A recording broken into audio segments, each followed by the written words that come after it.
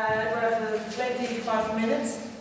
Thank you for coming and welcome to our school and it. Thank you. Well, thank you so much for having me. I'm very excited to be here, um, and thank you very much for allowing me to present in, um, in English.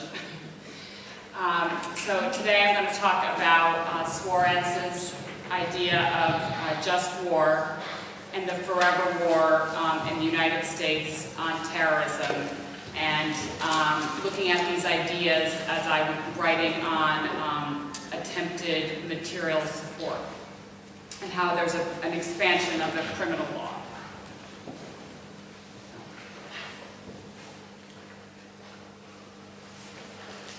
So um, Suarez answers the question, is war intrinsically evil? No, war must be waged by a leg- legitimate power. The cause itself and the reason must be just, and the method of its conduct must be proper. Due proportion must be observed at its beginning, during its prosecution, and after victory.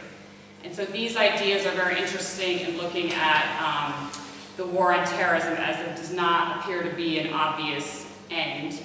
Um, and then the method, the other part that I'm really going to be looking at is the method of its conduct, because in America we're now having, we have expansion of criminal laws to, to try to combat terrorism, and how that plays in with the idea of having a just war. I mean, I think we're a legitimate power now. Um, and, uh, um, and, and September 11th is obviously a very large um, uh, event. Okay. Sorry. Um, so um, they need to be a legitimate and necessary nature. War is permissible only that a state may guard itself from molestation. And so once again, the part that I focus in on, if the cause in question should cease to exist, the just war would also cease to exist. Can we justify this on, ongoing um, when there, what would be an end? Uh, not every cause is sufficient to justify war, but only those causes which are serious and commensurate with the losses that the war would occasion. And so as it drags on, um, that is another part um, that's very interesting. So the three reasons for just war are the seizure by a prince of another's property, refusal to restore it, the denial of the common rights of nations, uh, such as the right of transit over highways, trading in common, etc. And then the one I bold will be the one that is relevant uh, to us, that any grave injury to one's reputation or, or honor. And uh, so it was really interesting reading all the, the limits um, Suarez already saw on, uh, on war. Humanitarian wars, aiding a friendly country. Um, he did see that that was a possibility, but he saw how this could be abused, so only on condition that the friend himself would be justified in waging the war and consents thereto, either expressly or by implication. And once again, if, if he, uh, he looked at if the reasoning in question were liberally allowing intervention were valid, it would always be permissible to declare such a war on the ground of protecting innocent little children. So you always have to try to um, keep the limits in mind. So um, after September 11th, and the week after September 11th, Congress authorized the President, and I quote from the authorization for the use of military force, um, to use all necessary and appropriate force against those nations, organizations, or persons he determines planned, authorized, committed, or aided the terrorist attacks, as well as against those who harbored such organizations or persons. So this was an extremely broad resolution, and um, having been in New York myself on September 11th, um, you, you could see how a very broad resolution might have passed in those weeks after September 11th. It was such a major event. But uh, 16 years later, this same resolution underpins uh, wide-ranging U.S. military operations targeting a diffuse jihadi uh, movement. So the war on terror is, um, I posit, a new kind of war. Uh, there's uh, unfortunately no obvious uh, end in sight and uh, it's been used in the United States to have an expansion of our uh, criminal law. And so now I'm going to uh, shift to, to showing you where one specific part that I'm writing about. I haven't finished my paper, I'm sort of in the beginning stages, so, um, so, uh, so I, I'll show you two part, two, 230, 2339A, and then there's B, and then there's B. And B has no intent portion, which is what I find very, which is what's very interesting, but I'll stop, I'll start with 2339A, which is providing material support to terrorists. So the offense is whoever provides material support or resources or conceals or disguises the nature, location, source, or ownership of material support for, or resources, knowing or intending that they are to be used in preparation for or in carrying out a violation, and it lists out all the different terrorist crimes, uh, or in preparation for and carrying out, and there's a, you cannot be in prison for more than um, 15 years. And so I bolded the knowing or intending, because in 2339A, there is an intent requirement. If you provide material support, knowing or intending that it's being used in a terrorist crime. So that would seem to be relatively straightforward, that would, that that should be criminalized. Um, and so they give definitions, and you'll see that those, the definitions are very broad. Material support means any property, tangible or intangible, or service, including currency or monetary instruments or financial services, lodging, training, and the, all these things have been litigated. What is training? Uh, expert advice, if you give legal advice to a terrorist organization, uh, expert advice, assistance, safe houses, false documentation, uh, you know, it goes on. And, and number two, the term training means instruction or teaching designed to impart a specific skill as opposed to general knowledge. And uh, three, the term expert advice or assistant means advice or assistance derived from scientific, uh, technical, or other specialized knowledge. Okay, so now I get to sort of my point of what I'm really examining in my paper is 2339B, and this is providing material support or resources to designated foreign terrorist organizations. So the United States designates, um, and there's a whole process, I think I'm gonna, I'm gonna say the wrong number, I think there's about 30 currently um, designated terrorist organizations. And, and in this, with this statute, there, um, it's only, the only knowing part is providing the material support, not the intent to for, not the intent to actually um, have a, uh, a terrorist act, to help a terrorist act.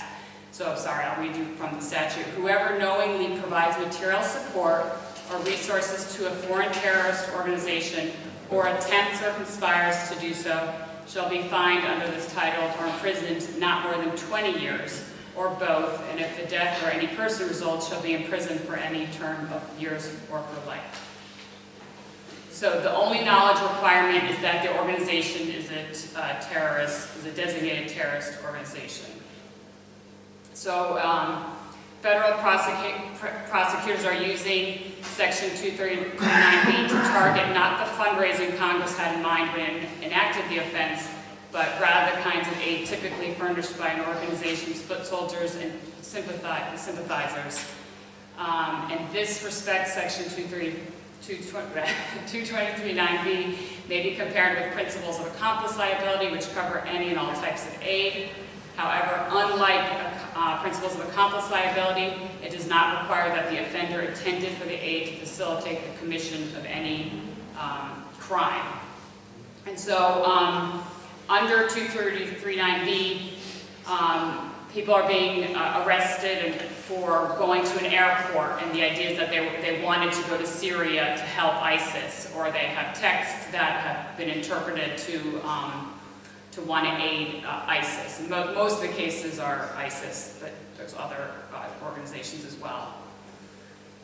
Um, and so this is a material support uh, case, United States versus Hayat, and I'll just read out to you the evidence against Hayat was that his maternal grandmother ran a religious school in Pakistan. He expressed repugnant views about the murder of American journalist Daniel Pearl. He kept a scrapbook of news articles about Pakistani politics and Islamic fundamentalism, including anti-American commentary. In conversations with a government informant, he first expressed interest in going to and then made excuses for not attending a terrorist training camp. After hours of questioning, beginning around 11 a.m., and lasting into the early morning hours of the following day, he finally agreed with FBI interrogators who repeatedly insisted, despite his continuing denials, that he had in fact attended such a training camp. Hayat carried in his wallet a written prayer, a saying of the Prophet Muhammad that a government expert opined would be carried only by a jihadist, a person intent on waging war in the name of God. For this, Hayat is now serving a 24 year sentence in federal prison. So notice he didn't actually do any, anything. Um, and so I, I, I quote from the dissent to paraphrase a famous line in this case, the government has concluded that it is not for it to say what offense Hamid Hayat has committed, but it is satisfied that he committed some offense for which he should be punished. This case is a stark demonstration of the unsettling and untoward consequences of the government's use of anticipatory prosecution as a weapon in the war on terrorism. And I pause here because when looking at the ideas of just war, it's always in the past tense. Um, and this is uh, now looking into uh, the future. And in anticipatory prosecution, the government proceeds on an inchoate crime theory based on the harmful conduct that the government anticipates the person might commit. The government asks a jury to deprive a man of his liberty largely based on dire but vague predictions that he might commit unspecified crimes in the future. And so that was a material support case. So that was that get, there are now attempted material support, so it's even one step uh, removed. And looking at those cases, um, most of them are about, and not all of them are litigated all the way out, a lot of them have plea deals. Um, a lot of them are going to the air, they're going to the airport and they're stopped before getting on an airplane and they're, um, and, and it said that they were, they had the intention to go to Syria because maybe they had um, Googled Syria. Um, and then there's, uh, or they might have texts glorifying uh, ISIS.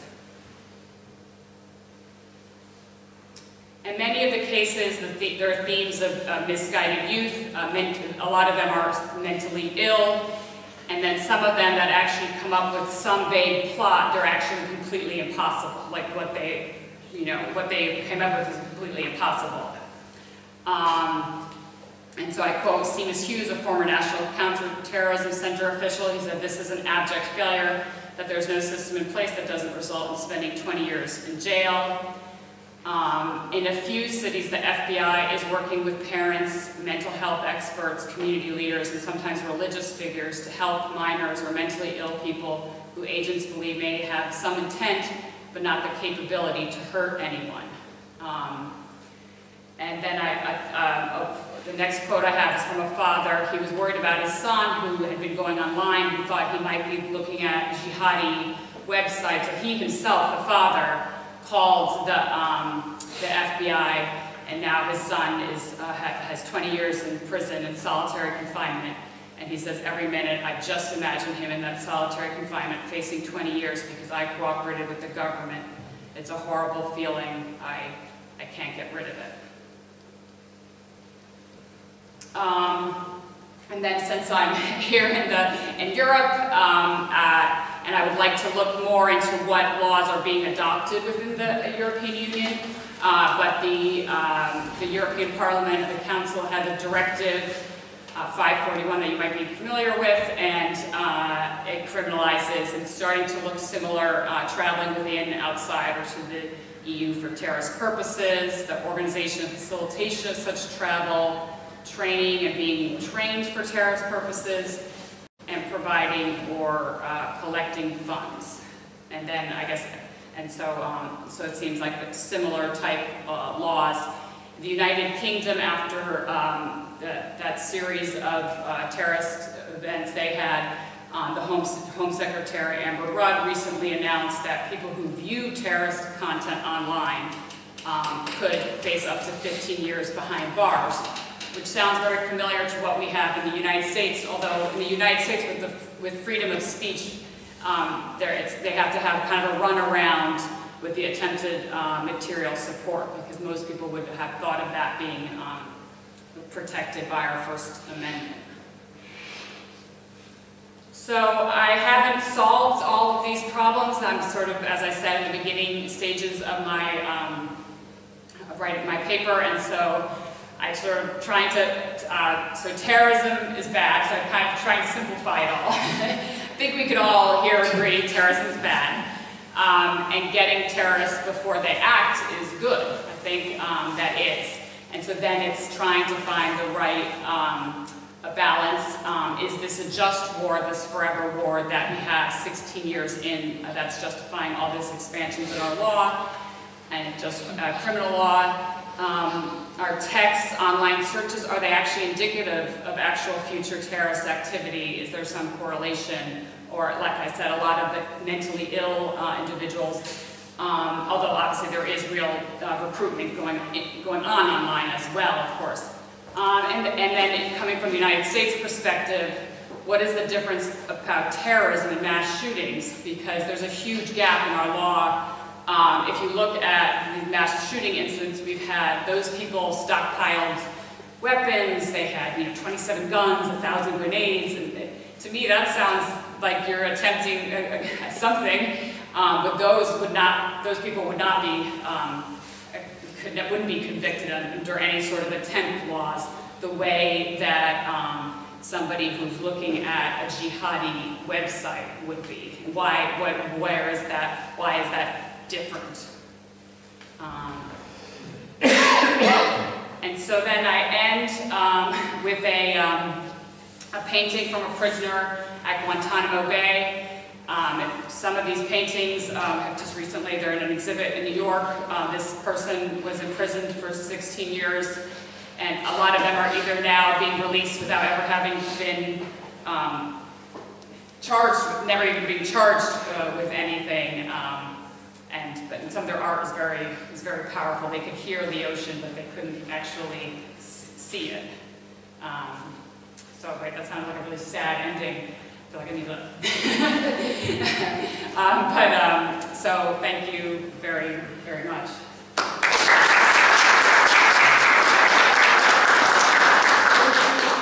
you very much.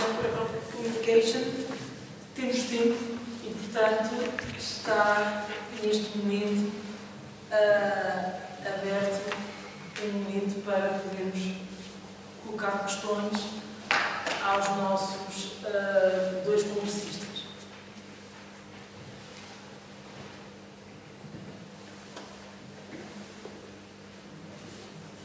I have a question for Professor Gilchrist. Um, I wanted to know your thoughts about, um, in this context of the,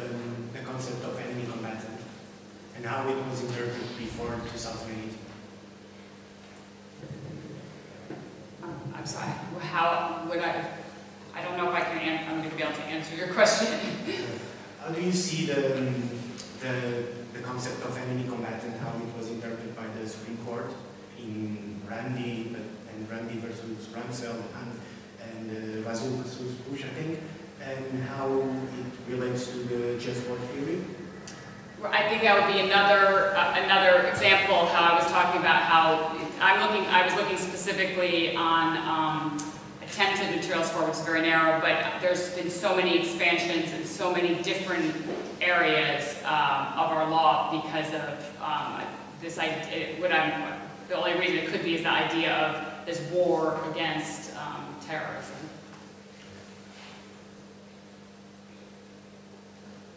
Perhaps if I can also ask you a question. Uh, it's more about, well, maybe it's two questions. One has to do with, the, you started your presentation uh, outlining some major uh, ideas, Suarez and just war that you would use to frame your evaluation of how this war on terrorism goes on and whether it's legitimate or not. Do you think there is uh, room in contemporary international law to use Suarezian concepts of just war? For instance, regarding uh, the legal frame nowadays that emerges from the UN Charter regarding Israeli. Do you think that uh, a Suarezian uh, just war theory or concept uh, has its place today? And the second one is, um, it appears to me that there are actions of the state here. One in a traditional sense of war, within international law, uh, international law, and the other is a metaphorical use of the notion of war for the use of state power within its jurisdiction. In this particular sense, looking at criminal law, and in that way we would be looking, for instance, at the constitutional limits of the interpretation and application of criminal law within the United States. So how do you think the two combine? So those are my two questions. Okay.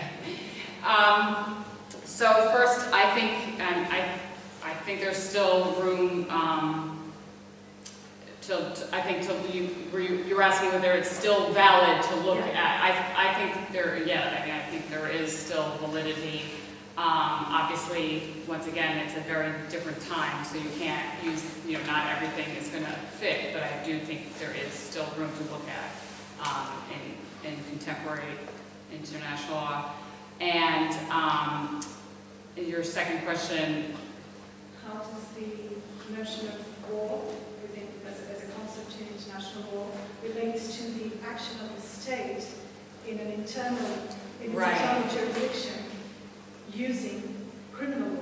yeah, I think it's, eh, right, I think it is more of a, um, they're using it more in theory than in actual, yeah, it wouldn't count as an actual war, but they're using it more as a, um, uh, to justify their, to justify their actions. Can I? Faz favor, faz favor. Yeah. Um, Thank you very much. Uh, Just a question for you. Uh, uh, Strangely enough, there's another subject that, that's, that's um, um, not only by Suarez, but, but also the, the second think, uh, in Molina, which is um, predest- predestination? Predestination? Predestination. That, that applies also here, not, not- not only just war. And because uh, uh, uh, and the question was, uh, in Suarez and Molina, and all, most of them uh, argued that uh, even that God knows that the future act would occur, He could not punish it before it occurs. Okay, that would be unfair, because that would be de- denying uh, freedom. So when, in the second uh, uh, uh, uh, phrase that you put in the, in the last uh, conclusion, you said getting uh, uh, terrorists before they act is good. I would say no, it's bad. uh, uh, so, so, but of course I agree with you that if we uh, are able to stop them to do those terrible things, sure. So the, the question would be, uh, uh, are those things that they are being arrested for uh, uh, uh, um, can they really be, uh, the question should be, uh, all the things that they are being uh, uh, imprisoned, imprisoned for can be defined as uh, terrorist acts or no? Uh, uh, because if we go uh, arresting someone because he would do this if we don't arrest him, then we are denying uh, freedom and, and, and, and there's no limit for it. So the question should be, is the, what is done can be already defined as a terrorist act? So you, you're saying that the attempt that they're doing should be a criminal act as well in order to. I'm asking. Yeah, I mean, that, that, I would, it seems that there should be something more than going to an, an airport, you know, there, that, that there's no proof whether, where the person was indeed actually going to, I mean, it seems very, that seems very vague to me, to go to an airport, and that, and that's where a lot of the arrests, um, take place. And, and looking at things online, how do you, like, to say that that person's then gonna actually act, it's hard to say. So I would say, you're correct, in, I would say getting someone before they acted is, is bad if they really were going to act. But how do you know that? We don't have a, ball unless, so that what their actions that they should have taken has to be more than going to an airport or looking at something online, I guess would be my, um, idea. Does that make sense?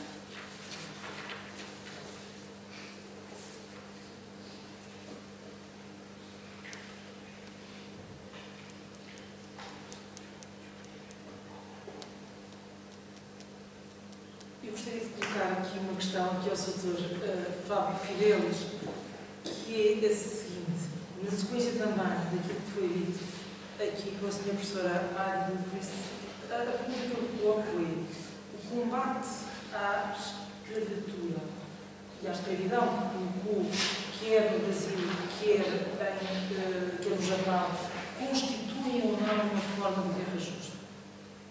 Podemos ou não, ou devemos ou não entender que a luta contra a escravatura, portanto, um princípio de abolição da escravatura, pode constituir uma forma legítima de guerra justa. Certo tem que ser. Hum, é, esse, esses dois teóricos, eles não, é, quer dizer, tanto na palavra do Padre Nóbrega, quanto é, na, defesa, na defesa estabelecida por, por Dom Luiz de Cerqueira, eles não excluem a possibilidade de, de redução à condição de escravos é, mediante a ocorrência de guerra justa. Isso está, digamos assim, presente dentro do quadro teórico estabelecido por ambos. Então, acreditamos que essa possibilidade está patente é, nos dois.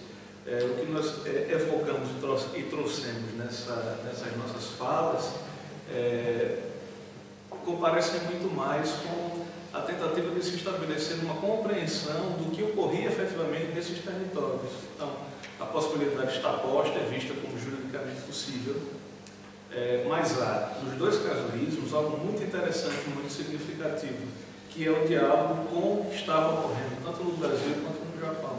Nos dois, nas duas falas está, isso não é absolutamente presente, não é natural na cultura, tanto do Japão quanto do Brasil. Outros autores, no caso do Brasil, citavam é, o empreendimento de guerras entre por exemplo, como natural, como uma prática natural. Nessa fala específica do Padre Nobre, ele coloca que não. É muito interessante essa primeira etapa do pensamento do Padre Nobre, está muito voltado para a defesa, para uma, uma visão muito mais protetiva dos próprios índios. Uma segunda etapa jesuíta no Brasil já vai, é, digamos, não digo não se preocupar tanto, mas não não ter essa, essa, esse impulso mais defensivo que encontramos no Padre Nobre.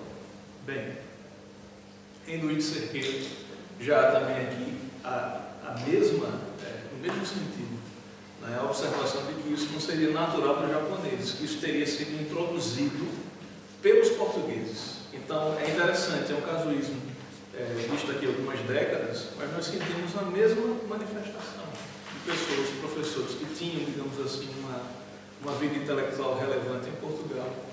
É, Nobre quase chegou a ser professor. Luiz Cerqueira foi professor antes de ser bispo, é, primeiro bispo do Japão, e que é, estão atentos para esses casuísmos em diálogo com o que acontecia na cultura local. Então era possível, né, dentro do contexto de aceitabilidade de cada um deles, mas há aqui uma tentativa de é, colocar como uma uma impossibilidade mediante a inexistência disso dentro da cultura silvícola dos índios brasileiros e da cultura dos japoneses. Não sei se respondi isso. Muito obrigado. Doutor, o comentário do ensejo a uma dúvida que eu acho relevante, porque quando nós estudamos a, a história eh, dos povos nativos do Brasil, nós vemos eh, acentuadas diferenças entre não apenas uh, línguas linguísticas entre diferentes grupos, ou seja, é impossível falar realmente índios como algo monolítico. Algo monolítico. Uh, nós vemos uh, diferentes estilos de vida condicionados pela geografia, pelos recursos disponíveis em cada localidade. E há, por exemplo, aquela obra do, não sei se é conhecido em Portugal, mas o Florestan Fernandes, sobre a função social da guerra entre os tupinambás e a sociedade que o, que o Florestan Fernandes descreve naquele livro não funcionaria sem a guerra, porque eh, as aldeias, as aldeias tupinambás estavam, funcionavam como pequenos espartos, na verdade. Era um, era um grupo indígena bastante belicoso.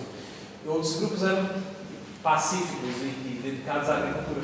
Eu queria saber se os, os, os padres já chegaram no Brasil, as diferentes levas, conseguiram uh, colocar esse, esses conflitos e essas diferenças tribais eh, com o próprio enquadramento intelectual ibérico deles em perspectiva e ver essas diferenças e analisar essas diferenças segundo uh, o, o, pensamento teológico e jurídico, obviamente. Eu não sei se, se na profundidade de tentar fazer a comparação e analisar segundo o, o, o pensamento jurídico, os de estados diferentes, ah, tendo visto comportamentos culturais de diversas tribos. Mas, por exemplo, já no 17, quando chegamos à altura do Padre Vieira, ele tinha um verdadeiro horror a uma, uma tribo específica do norte dele, não sei se o professor é, Calafate se recorda, mas uma tribo específica, ele tinha horror, queria ver assim, como se diz no Brasil, queria ver o demônio, mas não ver esses, esses índios. Né? Tinha um ódio mortal que achava realmente brutos, animalizados, uma coisa horrível. Né?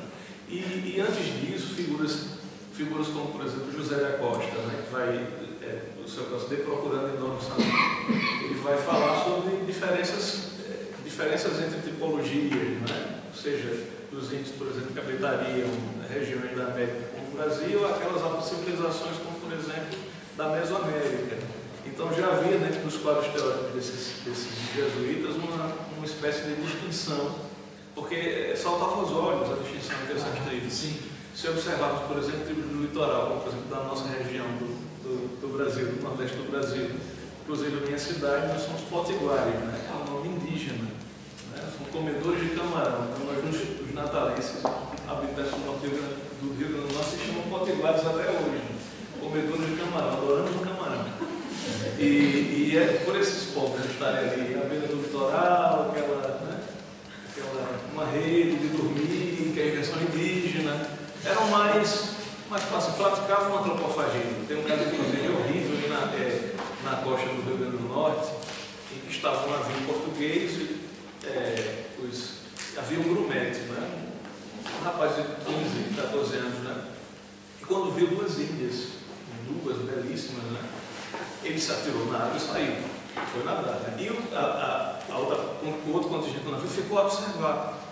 E ficaram observando aquelas duas índias, uma conversava com ele, tentava gesticular, e outra foi a, atrás de, um, de, uma árvore, de um mato, e pegou uma espécie de tacape. Enquanto ele conversava com a outra, a outra bateu na cabeça e todos viram aquela, aquela cena de antropofagia na praia, né? as duas ali cuidando de limpar para levar para a tribo, né? Nesse ritual ali feito. Mas apesar disso, eram um pouco mais brandos. Os do interior eram aquela coisa absolutamente arredia, né? inclusive, inclusive foi objeto agora de canonização pela Igreja Católica. Os. Né? É, então, nossa, nossa região, inclusive, é muito abençoada. Agora tem mais de 30 santos. Quantas regiões assim? Em Lisboa tem o quê? Santo Antônio. Né? Nós temos 30 né, de vez. Né? Os colegas portugueses que não acompanharam isso foram é, índios católicos e foram massacrados não, pelos... portugueses. Eram portugueses. Não eram índios? Portugueses ah, mesmo. População portuguesa que estava reunida numa, numa, numa pequena capela, né? e os holandeses, assim, junto janduís, ah, que eram sim, os mais, mais, mais bravos, mais bravios do, do interior, se reuniram e fizeram ali uma espécie de carneficina. Foram mais de 30 né, portugueses que foram martirizados. É, é até um tanto controverso isso, é, o número com todo respeito aos caras. Não, não, nem só o número, né? Mas porque todos estavam ali na igreja rezando, né, na hora da comunhão, se, se não fosse uma atitude de piedade, né, se, se eu estivesse lá também, vamos aproveitar, vamos rezar, já está aqui para morrer mesmo. Então, eram, eram índios, é, eram índios, esses índios janduís eram índios mais, mais bravios, né, que fizeram toda essa, essa, essa manifestação. Não só foram três focos de, de, de enfim, desse martírio, desse, dessa espécie de, de revolta ocorrida com o domínio holandês. Né? Inclusive o chefe dessa, dessa expedição era inclusive alemão, era um judeu alemão, contratado pelo governo holandês para digamos assim, empreender a conquista dessas regiões do Brasil. Disse isso apenas para reforçar a, essa diferença cultural entre as variadas tribos, essas pequenas variações. Ah. Nosso Câmara que é sempre uma referência incrível no tema, né, faz um, um, um, grande apanhado a respeito dessas, dessas regiões e como isso nos influenciou culturalmente, sobretudo em práticas alimentares do próprio interior é, do Nordeste do Brasil, que desconhece, por exemplo, alimentações com verduras Existem aqueles que até enxergam a mutação alimentar um componente da psicologia. Não sei, não é minha área, mas é algo bastante interessante. Mas essas catalogações antigas, para ser mais objetivo, é, foram feitos pelos jesuítas, eu não sei se impactou efetivamente na teorização de status jurídicos diferenciados, mas isso eles já percebiam. A culminar com Vieira, que detestava uma específica tribo, que agora me foge a memória, mas do norte do país. Obrigado. mais alguma questão que queiram colocar ou algum comentário que desejem fazer? Não havendo, agradeço. Thank you very much. Muito obrigada. Amanhã recomeçaremos os nossos trabalhos nesta sala, neste anfiteatro, pelas nove e meia da manhã. Muito obrigada a todos.